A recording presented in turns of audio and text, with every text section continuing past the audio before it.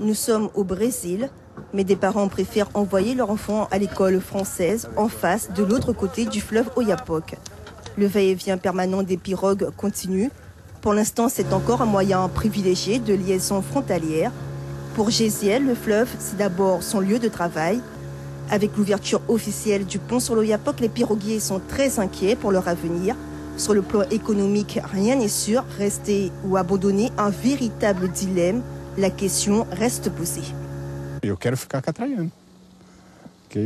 Je veux continuer à être piroguer. En même temps, ici, il n'y a pas énormément d'options non plus.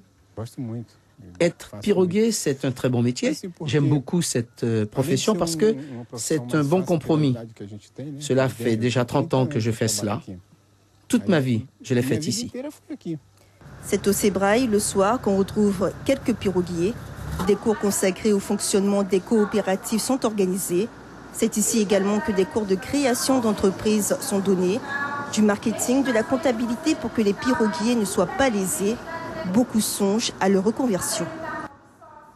Au niveau de l'État de l'Amapa, nous devons déjà lutter pour qu'on puisse suivre des cours pour obtenir des certificats de compétences pour les nouvelles activités qu'on souhaiterait développer au niveau de la région.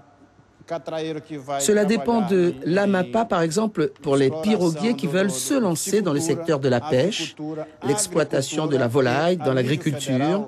Et au niveau fédéral, nous luttons pour obtenir des compensations. Pourquoi ces compensations? Parce que les piroguiers, nos coopératives, ont contribué économiquement au niveau municipal, régional et fédéral. L'ouverture de ce pont est comme une épée de Damoclès. Le fleuve a toujours constitué un lieu de partage et d'échange. Ce passage dans la modernité va-t-il détruire ou renforcer l'équilibre économique précaire d'une des régions les plus pauvres du Brésil?